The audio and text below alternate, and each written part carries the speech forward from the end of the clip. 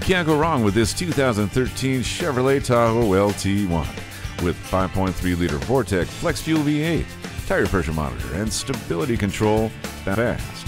You also get a navigation system, leather wrapped steering wheel, and a premium sound system. Leather seats and satellite radio make it even more appealing. So don't miss out on this one. Come take your test drive today.